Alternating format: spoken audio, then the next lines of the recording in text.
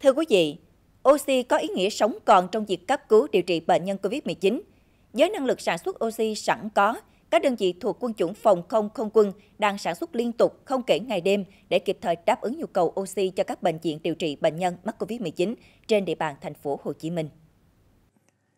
Hiện nhà máy A41 đang triển khai 3 dây chuyền sản xuất oxy lỏng tại chỗ, với công suất là khoảng 4.000 bình oxy loại 40 lít một ngày. Nhà máy đã cung cấp oxy cho hàng chục bệnh viện, bao gồm cả bệnh viện giả chiến của quân đội và bệnh viện dân sự. Trong tuần qua, thì quân chủng phòng không không quân đã điều động hai trạm sản xuất oxy lưu động đến các bệnh viện đang điều trị bệnh nhân COVID-19 trên địa bàn thành phố Hồ Chí Minh. Mỗi trạm này có thể sản xuất từ 40 cho đến 60 bình oxy, loại 40 lít một ngày. Nhu cầu về oxy tại các bệnh viện điều trị COVID-19 đang rất lớn và còn tiếp tục tăng. Những người lính này càng nỗ lực hơn, làm việc khẩn trương hơn nữa, bởi thêm một bình oxy được sản xuất là thêm cơ hội dành lại sự sống cho người bệnh.